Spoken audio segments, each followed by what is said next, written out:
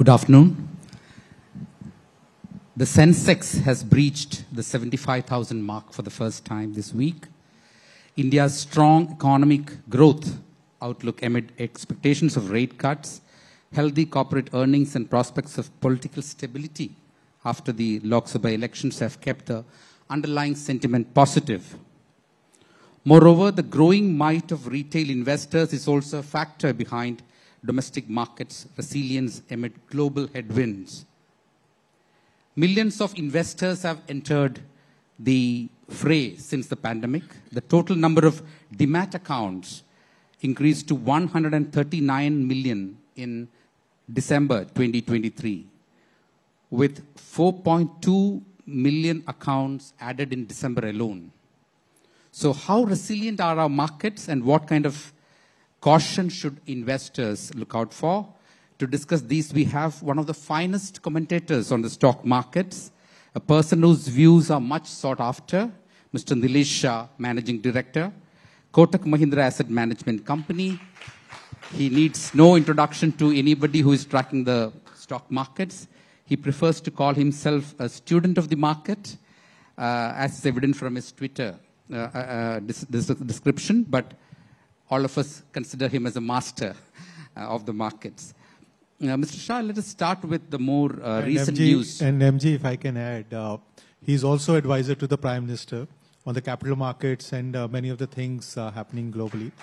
So that adds to his valor. Although you know, model code of conduct is there, and you know, since he's a, a part-time member of the advisory council, he may not be able to, you know, say this. So we can say on his behalf uh, that his advice is taken seriously even by the Prime Minister of the country. Excellent. So I'd like to know from you, you know, um, when the markets reach this particular landmark in, of 75,000, it has been a long, long journey. Uh, and uh, for those uh, of you who have been uh, involved with the markets for several decades, uh, how do you see this and uh, how do you, how, what does it convey about the robustness of the capital markets? Because investors today would like to know that. I mean, how sustainable is you know, whatever we are seeing? Uh, or is it that, you know, we need to be always cautious about the volatility that is there? So your export comments? So one, this is like a dream come true we were talking many years ago that there will be tsunami of retail flows into Indian market. Now we are seeing it. We were always talking that one day Indian markets will be driven by its own fundamentals and not by what foreigners will buy and sell. Today we are seeing that. And in last eight years, market has consistently hit all-time high in cricket, Sir Donald Bradman is the greatest batsman with six consecutive centuries.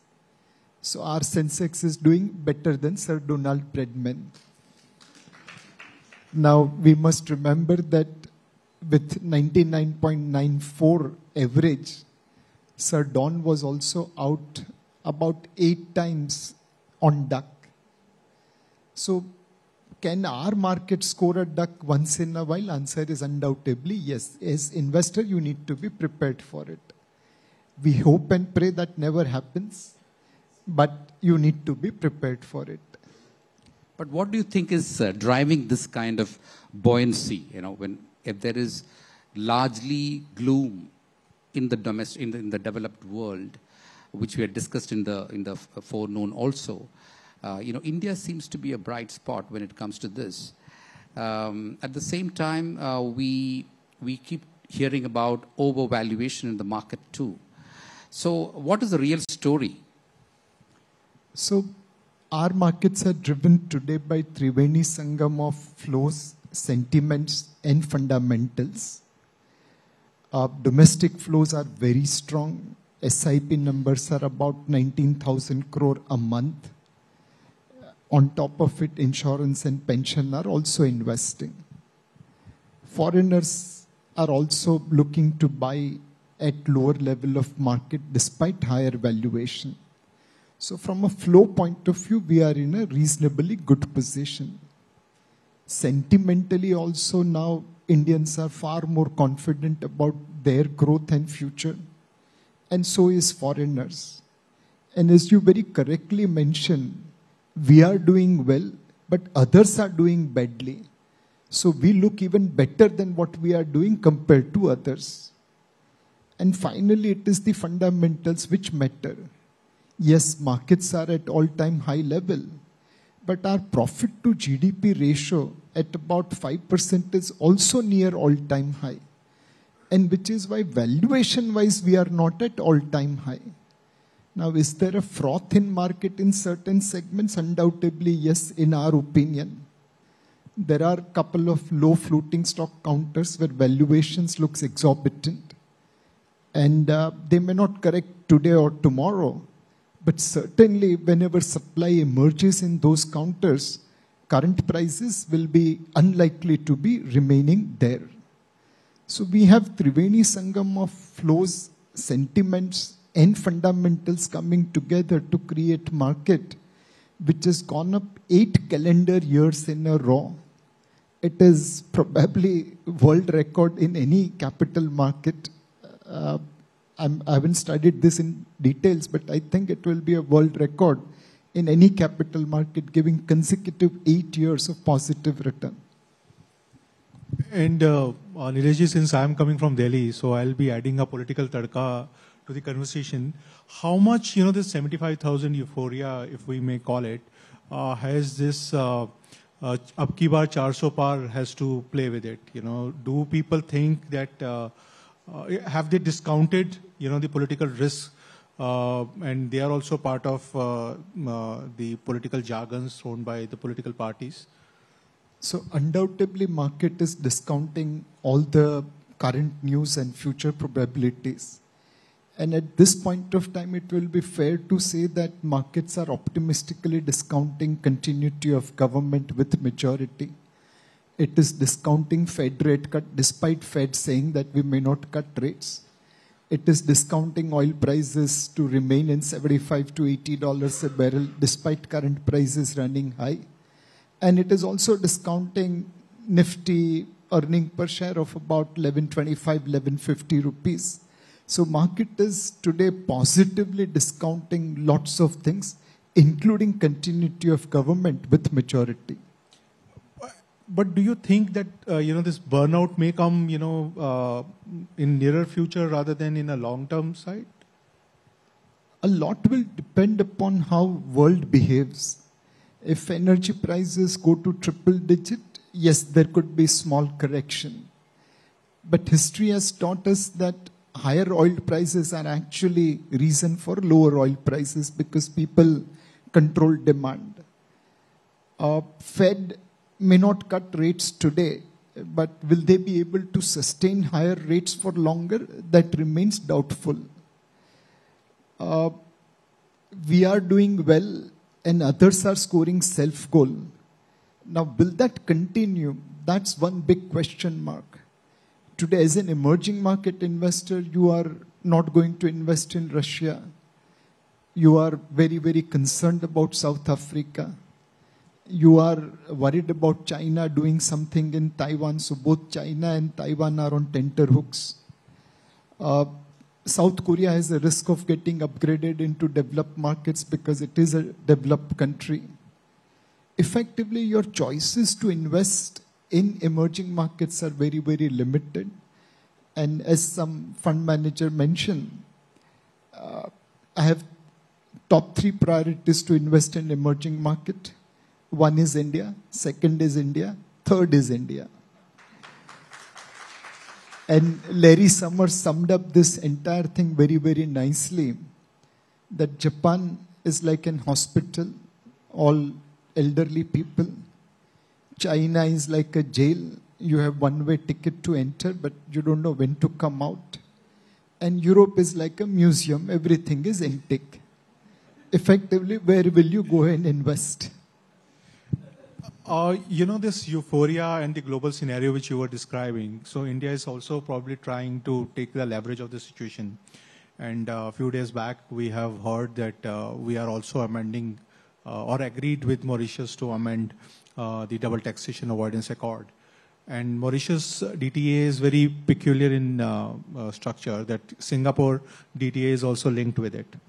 Uh, we all understand that uh, India wants to build a, a, gift city, and gradually we are uh, cutting down on many of the leverages which we had uh, in the DTA. I want to understand from you that you know what sort of impact do you see now? We already have you know seen four or five years of taxing the capital gains in India uh, despite the fact that people come through Mauritius route. Uh, now, uh, withholding tax and dividends, they are also, uh, you know, the provisions will be amended. So, what sort of uh, impact uh, do you see on the hot money, especially because most of the hot money which comes through it, and what sort of impact do you see in the FDI side?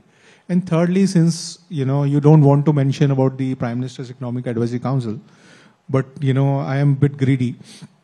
I want to understand that what sort of uh, uh, you know geopolitics uh, you see, uh, especially you know we are cutting one sort of uh, revenues for Mauritius, and we already have problems in Maldives, and we are struggling to deal with it.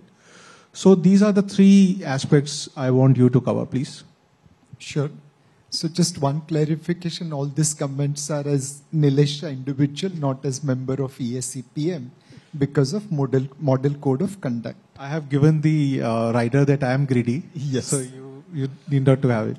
So one, there is a Gujarati proverb which says, "Gharna chokra ghanti chate ne upadhyay ne ato." We will starve our own kids and give floor to the visitor. That probably describes our treaty with Mauritius and other countries. The double taxation treaty gave advantage to people coming via Mauritius rather than directly coming into India. We have sustained this for uh, many, many decades. And now we are trying to create a level playing field. I think that's a step in the right direction. If India has to emerge as a regional financial center, as international finance center, then there can't be non-level playing field where people coming via Singapore, Mauritius gets tax advantage or other benefits and coming via gift city, they don't. Otherwise, why will anyone come into gift city? Now, at the same time as big brother in Indian Ocean, do we have to take care of our neighbors? Answer is undoubtedly yes.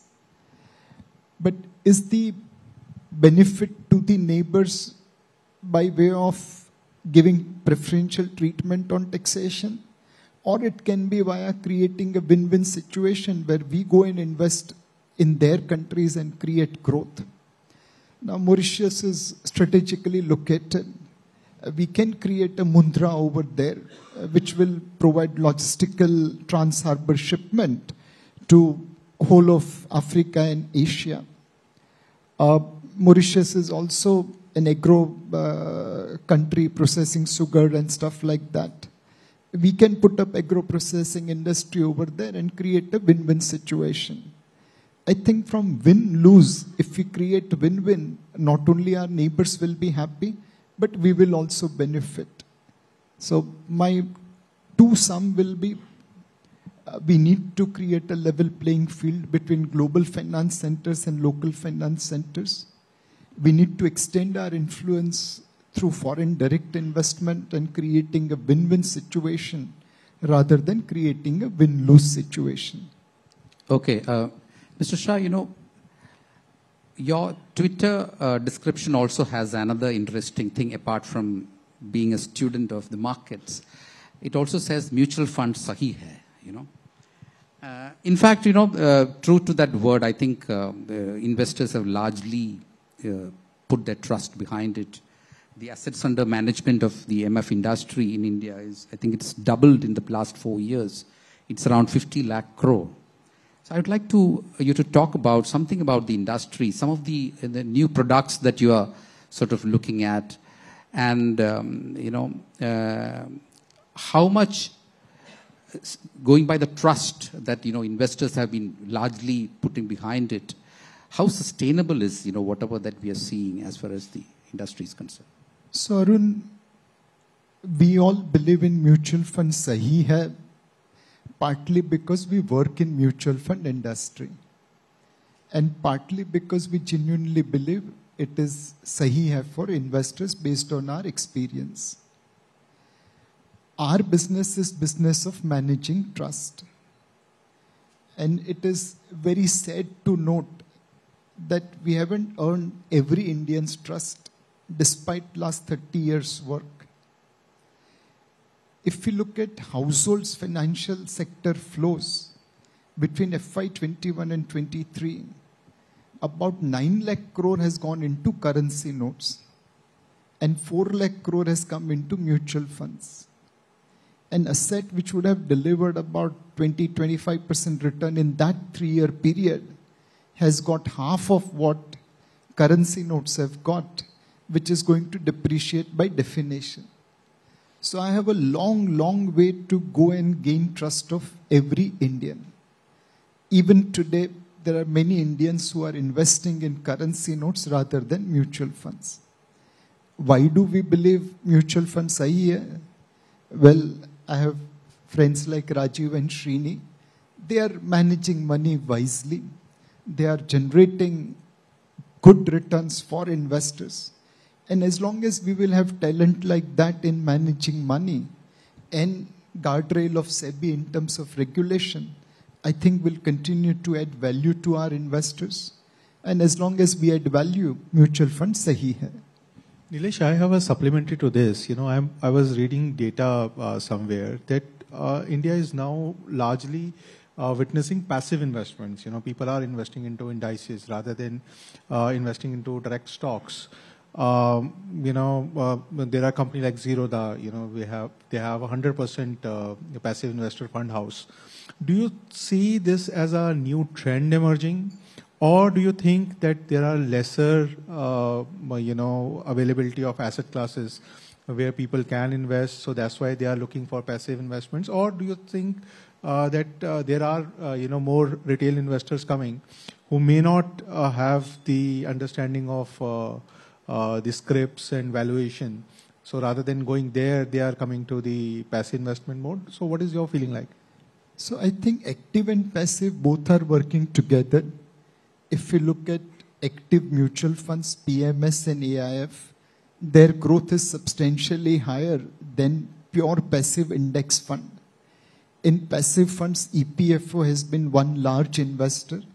If you remove that out, then retail interest is reasonably good, but not as substantial as in active funds. I think both will continue to work well for investors as long as we have fund managers like Srini and Rajiv who will add value to investors by outperforming benchmark. Active will continue to work. The day we are not able to add value, then passive will take over. I hope and pray that before I retire, active and passive both will continue. That's great. I think we know the, the, the, audience is very interactive out here. They may have a couple of questions, not more than that. I mean, so many hands are raising. I think this gentleman here, we can have a in the front. Uh, good afternoon, Mr. Shah. Uh, you said that the Sensex, which has come to about 75,000 and more, uh, one of the reasons is that profitability of companies have improved. And it also means that the cash flows must have also have gone up significantly. Does that mean that the, the gap between the intrinsic value of the companies who are listed in our stock exchange and the capital market value, that gap has reduced? Uh, very difficult to summarize for the entire market because there are pockets which are undervalued, there are pockets which are overvalued. But I will say that prices have also run up in line with the improvement in profitability. And hence the gap will be more or less averaging compared to historical standards. The large caps by definition, the top 100 companies or top 50 companies are still trading around their historical averages. Mm-hmm. The mid caps are trading little above their historical averages. Mm-hmm. small caps are trading reasonably well above their historical averages. And micro caps, the bottom end of the market, is trading well, well, well above their historical averages. So, depending upon which segment you look, the gap has either narrowed, widened, or remained the same. Yeah, so does, does that mean that due to this digitization, a lot of information have started flowing into the hands of the investors and the capital market as well?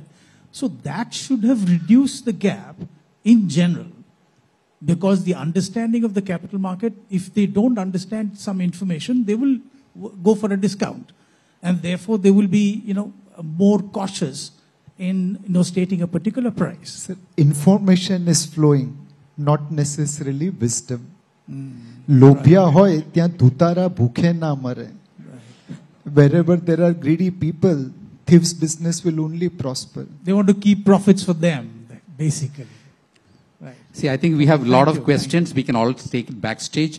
You all know the one-liners. He, Mr. Shah is known for his one-liners, but not many of you know about the songs he likes to sing. And he's going to sing something for us today. Let us hear from him. so one i'm not a professional singer तो भावनाओं को देखना गाने को मत